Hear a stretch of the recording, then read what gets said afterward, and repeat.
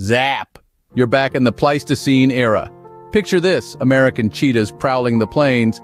But fast forward to 2024, they're extinct. What happened, right? Enter the panther, a close relative and our beacon of hope. Their survival story is nothing short of a Hollywood blockbuster. Faced with habitat loss, hunting, disease, the panther clawed back from the brink of extinction. Conservation efforts, genetic restoration, public awareness, it all played a part. Now, the panther population is slowly but surely rebounding. It's a testament to what we can achieve when we join forces for nature. Remember the panther, the American cheetah's legacy? This is not just a story of survival, but a call to action. Every species matters. Together, we can make a difference. The stage is set, the script is written, time to act. Now.